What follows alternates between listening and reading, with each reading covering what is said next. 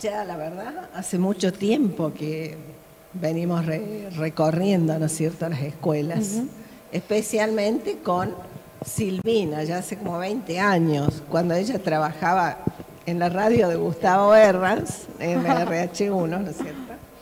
Ya venimos recorriendo las escuelas, ¿no es cierto? Bueno, y lo que te puedo decir es que estoy muy feliz porque he formado un lindo equipo, un grupo humano muy afectivo que me apoyan y bueno, yo quiero agradecerles, como agradecerles a todos ustedes también que nos invitaron, ¿no es cierto? Bueno, y los voy a nombrar un poquito porque es muy importante. Claudio Fulcieri, que hace como 20 años que trabajamos juntos en musicalización y sonido. Silvina, que ella y yo narramos, somos las narradoras del equipo. Y a raíz de que nosotros ya ahora, porque antes veníamos desarrollando cuentos, eh, poesía, a partir del año pasado comenzamos ya con lo que se llamaría un recital musical, un compendio, aunar la literatura con la historia, la música, el arte, y bueno, para darle, digamos, más fuerza, como se está haciendo un poquito en las escuelas de Buenos Aires, de Córdoba, en distintos lugares. Bueno, Ana María la incorporamos el año pasado como la cantante, digamos así, del grupo. Y en guitarra me ha acompañado Marcelo Martínez y también eh, ahora en la actualidad, como Marcelito está más ocupado y nuestros talleres son de 10 a 12 de la mañana, ¿no es cierto? Emanuel Saluto, que es profesor de guitarra en las escuelitas de, de Río Tercero y otros. Bueno, nosotros yo así te voy a contar un poquito, después ya dejo a las chicas también que den su vivencia ¿no? de los talleres, porque cada uno tenemos la nuestra. Nosotros lo que hacemos es leer la poesía, pero después, a raíz de cada una de ellas, siempre lo que más nos interesa es dejarle a los alumnos una huella o un rastro humano afectivo. Por ejemplo, tomamos un supuesto caso, el mes de junio, ¿no? ¿Cuántas cosas tenemos? Afirmación de derechos de las Malvinas, el padre, mayo tuvimos, por ejemplo, mucho las fiestas patrias, Hernando. Entonces, aprovechamos, por ejemplo, el padre, se lee la poesía, yo les hablo de lo que es un padre, que eso es muy importante. ¿No?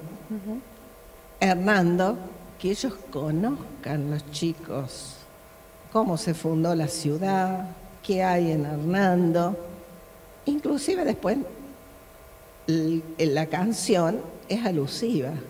Por ejemplo, a lo mejor Hernando cantamos todos el himno de Hernando lo del padre, canta, mejor dicho, esta primera cantante, Ana María, eh, sobre a lo mejor mi viejo, que lo hace muy lindo.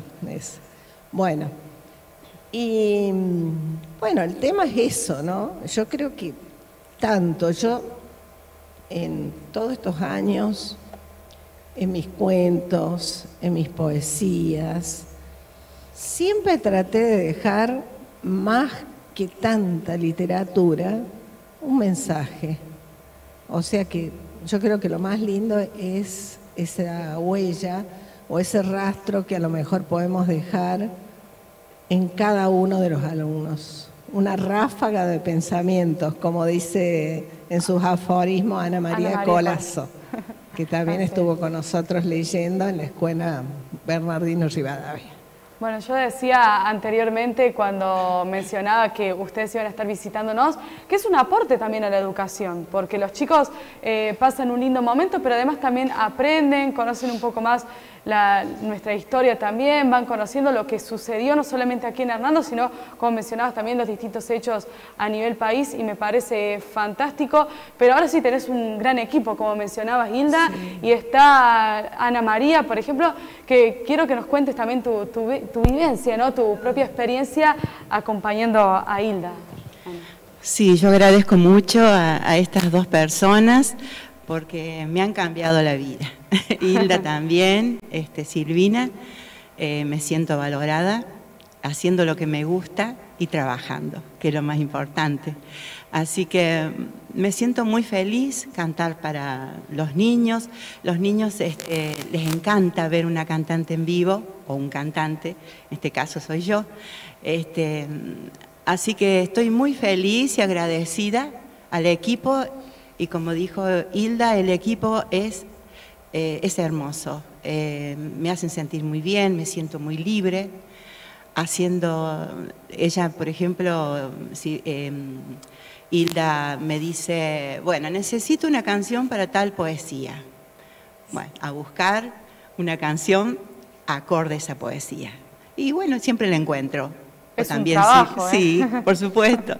o también, claro, sí o también Silvina, este, que ella con sus narraciones también necesita una canción, así que ahí va la canción. Sí, me encanta porque me mantengo ocupada buscando las canciones, como vos decís, eh, y haciéndole unos cuantos repasos. Y, ya sale. Y, sale y los chicos... sí, eh, sí, ah, eso es lo que vi. Eso es lo que he visto. Nunca me imaginé que a, a los niños este, en la escuela iba a gustar tanto, ¿viste? Yo digo, no voy a poder. No, me acompañan, como ven en las imágenes. Me acompañan. Cantan conmigo, este, me siento, eh, qué sé yo, que me dan cariño. Algunos se sacan fotos, me. Está muy bien. Algunos son cholulos. Autógrafos también. Sí, sí, piden foto conmigo. No, me siento. ¿Y qué más puedo pedir? Es gratificante. Sí, estoy muy, muy, muy feliz y agradecida al equipo. Bueno, me imagino que en tu caso, Sil, eh, le pones voz a estos escritos, que es muy importante, ¿no? También, eh, también ¿cómo es tu, tu, vivencia, tu experiencia? Bueno, Giovanna, primero un gusto poder estar acá en el programa de ustedes, así que primero gratitud. Y, segundo, bueno, con este equipo, con Hilda, que casi dos décadas, Joana, casi dos décadas transitando por tantos lugares, auditorios, públicos diversos. También ahora yo le digo a Hilda que estamos en una suerte de gira por las escuelas, por los colegios y, es muy satisfactorio todo lo que está pasando. Yo digo, casi dos décadas, cómo se pianta la vida, Joana, como dice el tango, cómo se pianta la vida. Pero bueno, son momentos muy mágicos donde cada auditorio propone una reacción distinta y uno también va aprendiendo. Yo quiero decir que Hilda, más allá de que dice, es la reflexión, es ese objetivo que la mueve llevar y hablar acerca de los valores, Joana. Pero yo quiero destacar un aspecto que a mí no me parece para nada menor. En un momento donde en la sociedad estamos hablando de, ante una sociedad totalmente digitalizada, con el poder de la imagen, de las pantallas, poder promover y difundir, difundir la lectura es una de las cosas que me parece a mí que debemos ponerlas en el punto número uno. Y, y yo creo que hay una frase, si me permitís, yo te voy a decir, porque siempre dicen que Jorge Luis Borges le decía a sus alumnos que mm, el verbo leer, como el verbo amar, como el verbo soñar, son distintos modos de felicidad. Y dicen que por lo tanto no aceptan el modo imperativo. ¿Cuál es el modo imperativo en la literatura? Cuando te digo, por ejemplo, anda a hacer algo, ¿sí? Anda a traerme, anda a buscar, cosas así, el modo imperativo. Y nadie puede obligar a nadie a ser feliz. Claro, como una orden. Como una orden, te doy una orden. Nadie puede ordenarle a nadie a ser feliz. Y la lectura, decía Jorge Luis Borges, es como el verbo amar y el verbo soñar, un modo de felicidad. Y yo creo que en este eh, taller, como en todos los otros, hay un caminito profundo de tratar de incentivar y de ojalá que se pueda despertar esa felicidad que se produce al leer, al escribir, como decía al principio, ¿no? En una sociedad tan pero tan protagonista de la imagen. Así que creo que ese también es uno de los aspectos a destacar. Y bueno, con Hilda también va con una pila de libros. Quiero aprovechar y ya cierro de, en estos casos está hablando en un año muy especial, teniendo en cuenta que a nivel país estamos conmemorando el cuadragésimo aniversario de la gesta de Malvinas, Hilda. Ha escrito varios poemas que están en sus libros, otros nuevos también que todavía no están porque son muy recientes, recién sacados del horno, Hilda, podemos decir, y que se ha leído también en estos momentos, en las últimas actividades que se han hecho aquí en la ciudad, y hablar de la historia de Hernando hablar de mensajes, tiene un libro que se llama Soy Ciro, busco amigos, la historia de un perro, que en otros momentos lo hemos hablado, habla del bullying. Otro que es eh, para los niños también, Cristóbal, un castor en apuros, que habla sobre el tema de los valores, el respeto a las autoridades. Entonces decimos, prisionera del temor, habla de la violencia de género. ¿Qué otro libro, Hilda? Tenés tantos libros de poesía, de, de de la iglesia. El de historia. De, de, las escuelas. Es así. De muchas instituciones. De ¿Cuántos, ¿Cuántos libros ya lleva publicados Sila? Y nueve libros. Nueve libros. Sí, poesía, eh, cuento, novela, historia, un popurrí. Ya que estamos hablando de la historia de, todo este trabajo, eh, recordar también, Hilda, cuando se hizo ese taller del el embarazo en la adolescencia, con un equipo interdisciplinario, porque hasta llegar acá a este momento eh, se han trabajado un montón de, cosas, de temas. Muy importantes para la sociedad. Y bueno, te digo que bueno, muy agradecidos a todos, porque mm, con todo, sobre todo con Silvina, hemos tenido la suerte de ser convocados en el año 2019 para representar a Hernando en la Feria del Libro, Córdoba.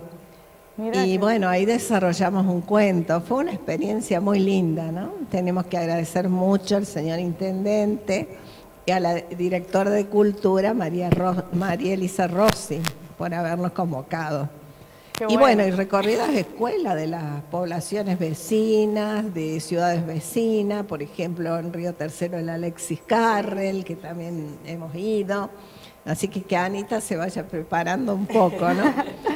Son 20 años eh, de mucha recorrida, así que Ana... Mucho recorrido. Lo, que espera, ¿no? Adelante. Mucho, mucho. Bueno, y lo más importante, como dijo, sí, la lectoescritura y también los mensajes, la huella que dejas en lo humano afectivo, que eso es para mí muy importante. Lo más importante.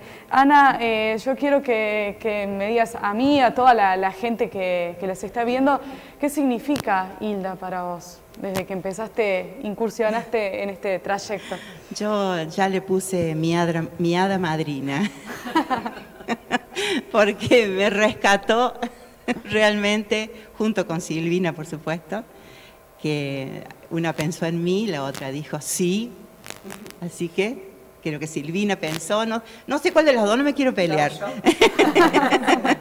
la cosa es que estoy ensamblada con este hermoso grupo, así que significa mucho para mí, eh, significa dar eh, todo lo que yo siento, todo lo, son tantos géneros que uno canta que puede este, aprovechar y, sacarlo, sus alegrías, sus tristezas, que son muchas. Entonces, eso cura, me cura el alma. Bueno, gracias, Ana María. Me cura el espíritu y me dan ganas de seguir para adelante. La verdad que bueno. Ana María, un verdadero hallazgo también, porque siempre dispuesta y bueno saca esta canción, saca la otra. Por eso yo tengo que agradecer mucho. Acá está Cristian Ruiz, que es testigo, en nuestro camarógrafo. Trato de portarme bien, porque si no la... Sí, bueno, que también me ha hecho ya muchos videos, ¿no? Él, Hernán Platini, Hernán Platini también lo tengo que nombrar, muchos videos y... Trabajo en conjunto. No, y sí, somos tan ingratas que siempre dejamos de lado, pero yo le quiero ah, hacer un homenaje especial, que todavía hasta le debo regalito del Día del Contador, que ha sido cuando ayer, ayer, ayer. Bueno, a Gustavo Peretti, porque no sabes, nos acompaña a todas partes, nos filma, me ayuda, me, ayuda a bajar que el portafolio, los materiales. Sí, Daniel también nos ha acompañado o sea, colaboradores son muchos. No, son muchos. La verdad que tengo mucha gente que me mima. Muy bien. Así que bueno, y eso es lindo, trabajar así, ¿no es cierto? Seguramente. Hilda, ya para ir cerrando, eh, ¿cuál es eh, la próxima escuela que van a visitar o cómo continúa este recorrido? Bueno, em, estamos visitando todas. El año pasado fue muy lindo. Eh, a fines de año justo egresó mi nieta y ahí hasta festejamos en esa escuela. Yo me olvidé de decirlo y vos sabés que tuvimos la suerte de que estaba la inspectora de escuelas privadas, Valeria Villarreal.